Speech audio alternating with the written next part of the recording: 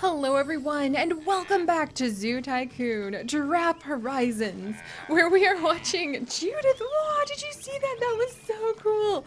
Look at how beautiful she is. Look at this. Oh, she's getting a drink from the pool. Oh, look at her big horns. This is so cool. And look at the baby giraffe and mom like watching her in the background.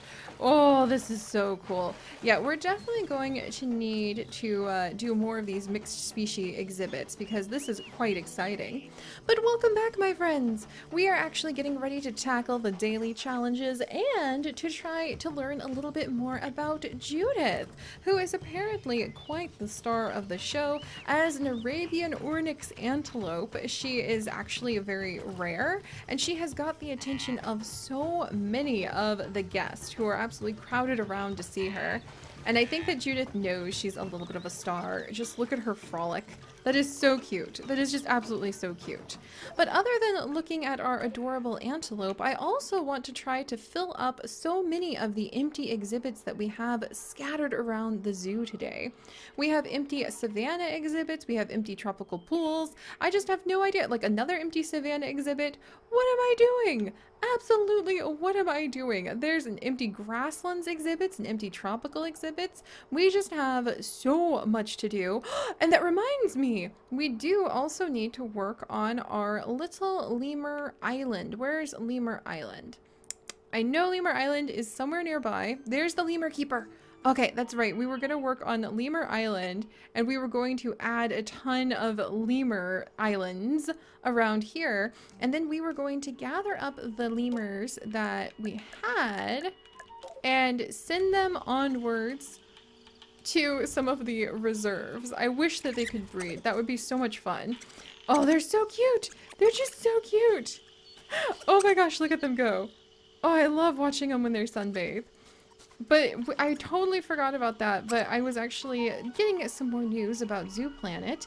And when it comes to some of the smaller animals in Zoo Planet, when you do keep them happy, they will indeed have babies. So that's very exciting. Oh, but yeah, we have a lot to do, and I really do want to start working on getting to the point where we can start looking forward to exploring some of our other new zoos and sharing animals between the two of them. So let's go ahead and get started today by just glancing over Judith once more. Ah, and that's right, there's actually a lot of poop. We have a bit of a poop problem, so we probably need to get ourselves another zookeeper soon. But I do- oh, little baby Nikki, the Nubian giraffe. And Clive and Eris and Lynn and Wentworth, what a name. Alright, but I do want to learn a little bit more about Judith really quickly. Daisy, the pale Transvaal Mossier lion. Oh, that's right. That's right. We did have Daisy. Daisy. I think, oh, there's a lot of poop actually. I think I need another zookeeper. But hang on just a second. I want to see where Daisy is. Hey, Jazzy. How are you? Wow. Somebody's feeling pretty relaxed. Rootward, Elward, Theo, Penelope, Eva, Hercules, Catherine, Daisy. Daisy! This is so exciting! Look at her as an adult. You can really tell, tell that we have a white lion. Can you imagine if this was Planet Zoo and we could really try to isolate her genome for like future lion cubs? This is really amazing. I love seeing the variants. I can't, that's one of the things I'm really looking forward to in Planet Zoo is actually seeing how we can follow the genetics of the lineage of our animals, from lions to wolves to giraffes, and the genetics will affect everything from how they look to how they behave. Look at her. Wow, Daisy. You are really something. She's so pretty, guys. Isn't she just so pretty? I forgot that we ended up with a rare variant of a lion in here. People better appreciate that. Now I want to like put down a special restaurant where people can appreciate that. But all right, uh, we've got a lot going on. Okay, really quickly. Oh, there's a lot of poop again already. Judith, I'm trying to learn more about you, dear. Would you be kind enough? Okay, I think we have to go Oh, we've got an epidemic. Definitely. There's too much poop. There's actually so much poop that we have a very bad epidemic. We're to spend... 115,000. Do I have any money left? I do. But wow, that was a little bit of a blow. That was a little bit of a blow to my my bank account. Um and I'm I'm the janitor level. The janitors, a survey among recent guests suggests that your zoo is untidy and needs to be cleaned up. Try increasing one of your janitors to level 3 so they can do a better job. Oh geez. Um, apparently we have some issues going on. if we just had like a major, a major poop catastrophe. Do I have, okay, Eric, let's go ahead. We're gonna train Eric to level three. We'll get a tidiness bonus from that. And I think that it's time to add in a, another zookeeper, friends. Another zookeeper area. Because we're getting a little bit, a little bit caught up and feeling the little, a little bit of the intensity of uh, trying to keep up with everything else. So let's put a zookeeper, I think, right here. There we go. And then we'll hire some new ones. And we'll also do an upgrade in just a second. Uh, that's probably... Okay, we'll connect over here. Alright, and then let's go ahead. We're going to do a couple upgrades to the facility. Because we can afford it. and our zoo fame is going up as a result. Alright, and then let's hire... Let's go with Claire. And let's go ahead and hire Ari. And hopefully Claire will do her work. And let's see if that's enough to take care of kind of the the mild catastrophe of major amounts of poop that we are dealing with in the whole zoo. So hopefully that will take care of things. Uh, apparently I need a picture of a sable antelope. Is this my sable antelope exhibit? Lisa you look like a sable antelope to me. Oh we need to rename it. Okay guys. Okay we need to rename and we're going to name this the stable of sables. What do you guys think about that? I love it.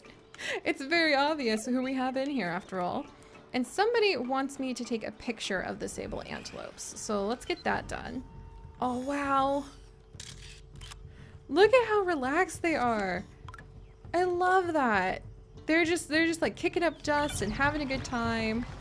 We've, we're, we also need to do best kept animals. A competition is being run for the local zoos. And the zoo with the highest animal happiness wins. Get your average animal happiness into the green for five minutes. Okay, we should be able to do that. A magazine photo challenge now. They want another picture. They're like, no, no, no, no. We want more sable antelopes. Well, I'm not going to complain.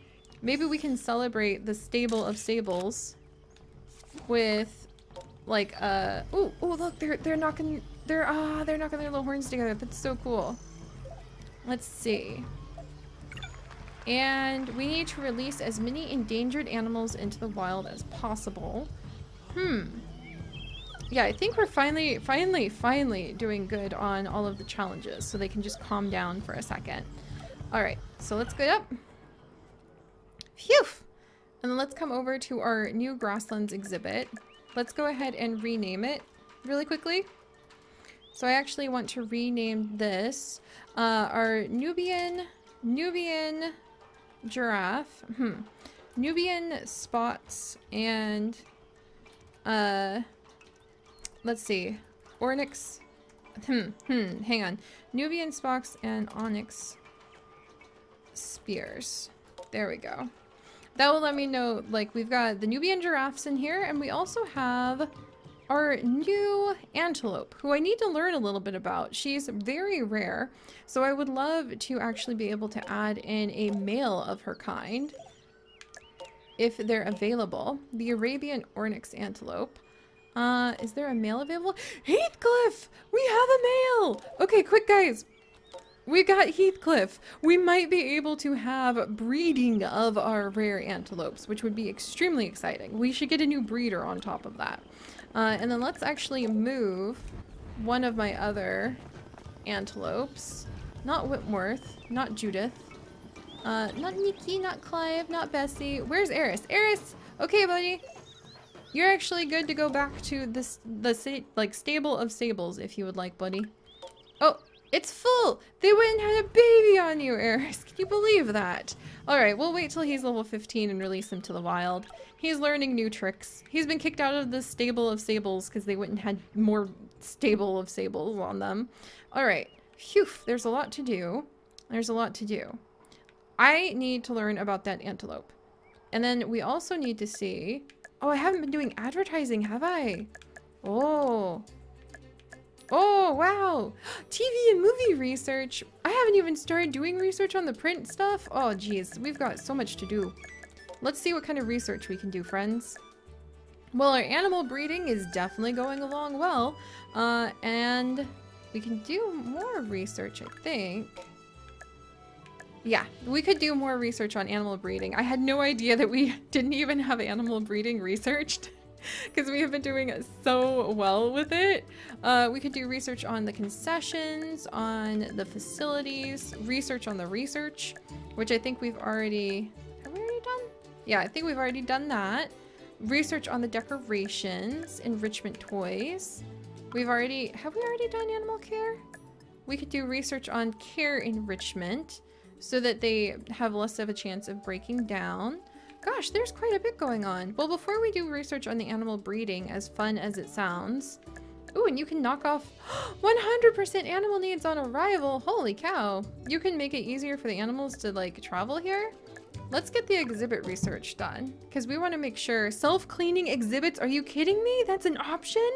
Your zookeepers have found that certain combinations of plants are more, oh, of course it's plants. I love plants or more beneficial to the maintenance of exhibits, reducing maintenance cost even further. Excellent! Well, we'll go ahead and start researching that in a second. But I do want to see, let's get some advertising.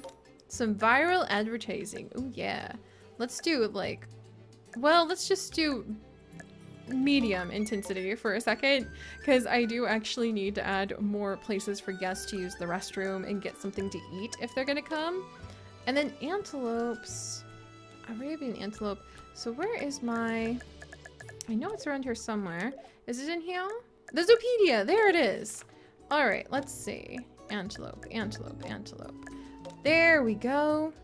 Though hunted almost to extinction, the Arabian or oryx has been successfully restored to the wild and is well adapted to its life in the deserts of the Middle East. Adults have bright white coats that reflect sunlight and splayed hooves to help them walk on sandy terrain. It's estimated there are six to 7,000 oryx in captivity and approximately only a thousand in the wild? Oh, I hope that's gone up. The last wild oryx was shot in 1972, but conservationists, governments, and zoos around the world worked together to save the species. The first ever to be upgraded from extinct in the wild to vulnerable. That's amazing! Oh, I can't wait for us to be able to have more of them to help with the wild, like, populations. We'll have to learn more about them in the future. I love actually like just gently teasing away these facts about them uh, and learning a little more at a time. But they eat grasses, leaves, roots, buds, and occasionally wild melons. Oh, that's so cool. Okay, well now I'm happy that I have learned why that little one is so rare. Uh, with good, good like, uh, very good reason to be rare too. Let's see if we can add in a little shop for people, like a little place to eat. Do I have new places? Oh, like a coffee place. Hmm. That would be kind of nice. I, it's it's about as fancy as we can possibly get here. So let's go ahead and do a coffee shop research. And then entertainment, a lion mascot, souvenir shop. Ooh, actually, these would be really nice. Maybe we could do another souvenir shop nearby so that you could really learn or maybe we could do like biodegradable balloons. It'd actually be fun to watch people walk around with some biodegradable balloons. We just got the surprise animal for having our our animals be so well kept. Holy cow. We're gonna have to see what we can do with that. All right let's get a coffee shop actually I want something a little bit more serious and stately for people to be able to really think about the fact that we almost forever lost the populations of these oryx. And it was only with the dedicated effort of zoos and governments and researchers around the world who managed to make this happen. Also, how dare you guys strike? Like, I mean, I get it. You need a little bit, you need a little bit of attention. You need a little bit of the monies. But like, we're in the middle of trying to do all of these, these upgrades, you people. Okay. Thankfully, their strikes are not the biggest. So let's go ahead and do medium on the janitor strike, and we'll just go full out on the zookeepers. And hopefully the strike will be shorter with the janitors. Okay, there we go. They're blushing with shame because of because of the situation they put us in. I mean, zookeepers going on strike is serious. Our, our poor little animals just cannot put up with that. Alright, let's upgrade this coffee shop and change the price to high. And then I want to rename it because uh, I want I want people to really sit and and have like a a thoughtful thoughtful sip so they can think how close the beautiful oryx came to almost being extinct. And then let's add in a tree decoration or something really pretty. Scenery, topiary, huh? Giraffe topiary! Why am I not? Oh, it's huge! Do I not have more of these everywhere? Holy cow. We might have to just like move some things around to plunk that down because I love it. But let's actually see scenery. Wow. I love the little scenery things. Medium rock, savanna. Maybe we can do like a grassland tree. Temperate forest, tropical. Hmm. Temperate forest, savanna.